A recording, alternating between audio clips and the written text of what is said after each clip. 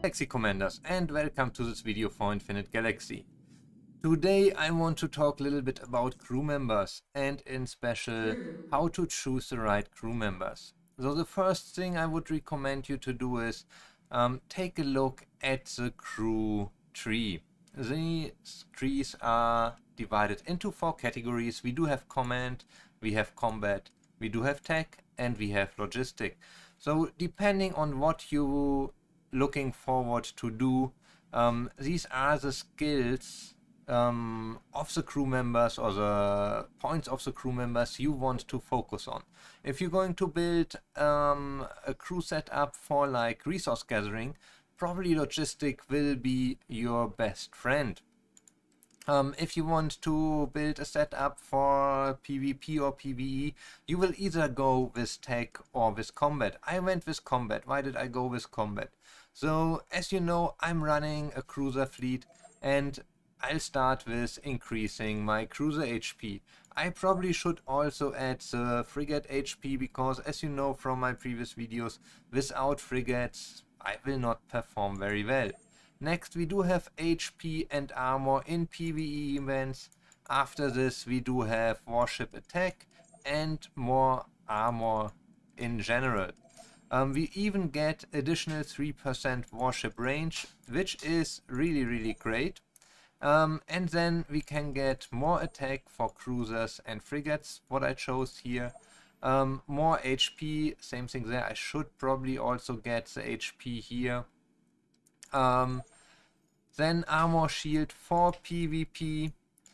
Um, after this, I do get another attack for PvP. And here, as you see now, I start to mix it up because I started using destroyers. I went with destroyer attack HP as well as cruiser attack and HP. Last skill will give us more warship attack, so this is a total of around 530 points to get to the end. Um, for the tech tree we do have the weapons, so kinetic, missile and laser weapons. We can get additional um, spaceship building or you can increase your spaceport defense or repair. Um, we do have the same thing, spaceport defense. Here we have shield or armor to choose. Um, and then we get warship build. We do get total warship attack, total warship HP. We do get more spaceport defense, we do get more spaceship building queue, um, warship repair speed, armor and shield. Um, and it goes on like this till at the end we get total warship HP. Um, we do get another um, weapon buff in here. So these are the two best things to go for when you're looking um, to go into a combat related setup. As you see, I want to get the 530 points. So my crew members are chosen based on this. Um, let's take a look at the crew members I choose. You will see they all have high combat um, crew property points. And um, that's because I wanted to get there very high. Um, and that was honestly um, even the main reason. Yes, I do also have my cruiser HP attack. I do get total warship HP here. Um, but I even use um, some crew members. Here we have tech. So that's my first crew member where I'm not completely combat related anymore. We have a great skill with total warship attack. And tech is the second um, skill tree I want to um, excel in. I do also have my destroyer um, crew member here mainly because it's also combat related. Um, as said, my main focus is on cruisers.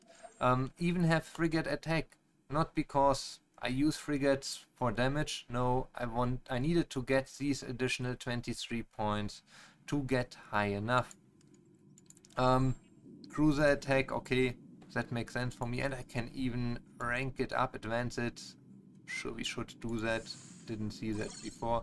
Um, I only got these to level 15 because I know that I will swap them out later. Total warship HP. What will I swap them out? I will look for commanders um, that are more tech related. So let's sort them here by rarity. Um, you see four of my legendary commanders are in my crew setup. I do have these two four captains. They are great captains. I do not use the kits at the moment. Um, reason for this is not enough combat at the moment. Will be great later. Command and tech can also be a nice captain with the kinetic weapons here. Um, Laura is all over the place. A lot of command. Um, I probably will not use her too much. The other kit is again command um, strong. So these were not the directions I wanted to go. And um, in the epic section, um, later I will look for crew members that are very strong in tech to replace some of my um, crew members. I really hope that we will get more crew members um, later. Camel already promised that they are working on this. Um, we all know since we have the four flag, uh, the two flagships per formation, we just need more crew members available. So the other option or the other kind of formation you are looking for, this is my formation 3, let's delete formation 1. Um, the other formation would be, sorry, let's clear this, um, and let's switch over there. Um, you might want to have a formation to build your warships. It really does make sense and for this you want to have as much tech as possible and there are a few crew members that are specifically good because they do have um, these additional um, spaceship building queue leadership. So Karen Baron is one you want to have inside there for the building speed. Um, and besides that, I would really focus a lot on the highest tech points you can get. You see the tech points down here and um, depending how many crew members you have, very likely everything that is above 20 tech points is someone you want to get in there. And um, this will allow you to get it up as high as possible. Um, we will also find some crew members here that are probably more tech related. Um, also warship building speed is one we want to take in here um, for this kind of setup. I don't like that it always resets here. Um, we should have one more crew member with the building speed, if I remember right. Might even be a green one. Oh. No, not um, where is it? Uh, maybe it's my captain. Should I use my captain for this? That could be that it is a captain now, and if it's a captain, you do lose this kind of skill because um, I don't see the captains here. Let's take a look at the crew overview. Uh, here we are still sorted. Yeah, I think it was Robbie. Yes, Robbie. Robbie has also warship building speed. So she's a nice captain because she gives you warship armor. Um, if you do not use her as captain, she would be a great crew member for this faster warship building setup. Um, as said before, you will probably, if you if you avail, you will have more options. But if you're a free-to-play player, or a low spending player, very likely you will just look now for everything that is at 20 or higher.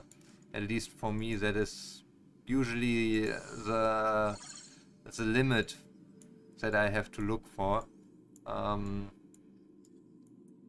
yeah, the, you could rank these up, but as this is like a secondary setup, not your main setup, I would recommend to save your level ups for crew members that you using in PvE and PvP settings. Um, it's just um, the better solution. Here we do have 16, that might be already the highest last one. Yeah, if I didn't miss anything, this highest we can go. So now we have a crew setup that is very strongly oriented in the tech tree. And um, what we want to do is we want to get everything that is warship building.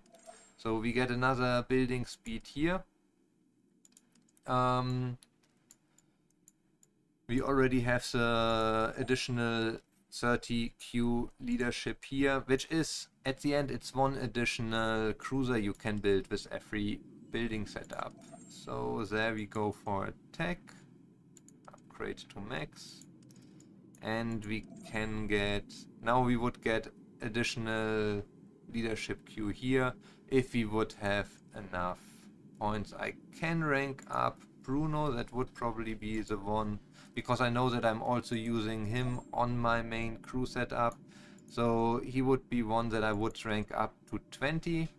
That's at the moment where I try to get all my um, crew members that I use for PvE and PvP settings. Let's see how high we can go. For so perfect, we can get him also 220.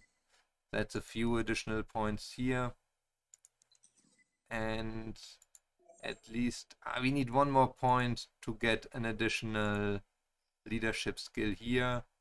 Um, let's see. Captain Goodman. She's two. Let's sort them all by level. Um, That will be difficult. I could rank up Amelia, but she's not really focused on um, tech. But on the other hand, I only need one additional tech point.